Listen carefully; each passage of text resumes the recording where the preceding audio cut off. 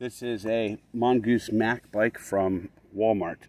Not a very expensive bike, 200 bucks I think it was. Um, I got it for free when I bought the uh, motor kits that I got here. So, time to change the pads. And so basically, this brake caliper setup is mechanical.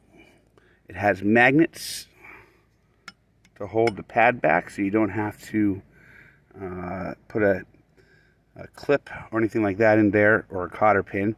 It does have a pin, you can see right there, that unscrews from that Allen key there. So you have to take off or release the uh, cable pull and then uh, you'll be able to lift the pad straight out of there. Now that I've released the cable pull using the appropriate sized Allen key,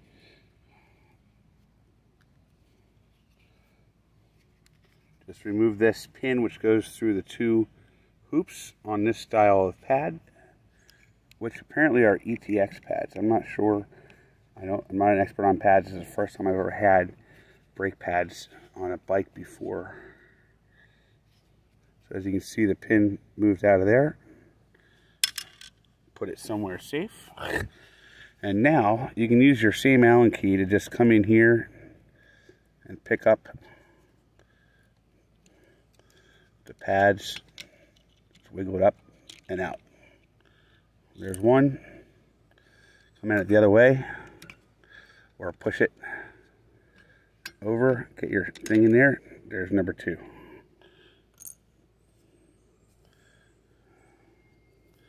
Now what I've noticed is that this 160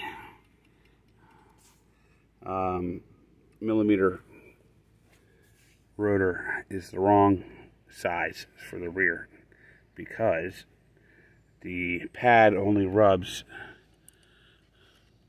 the pad is only effectively rubbing on half as you can see here.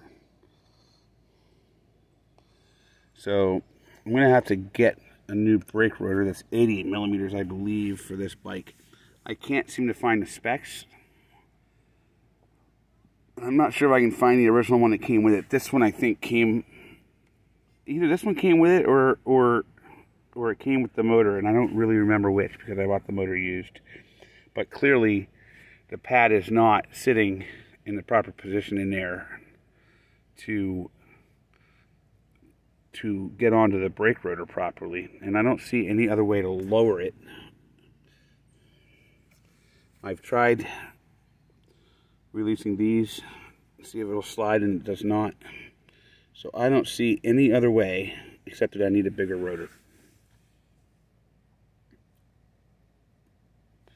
Installation, don't touch your pads on the surface if you can help it. Just remember the hook, oops, my finger.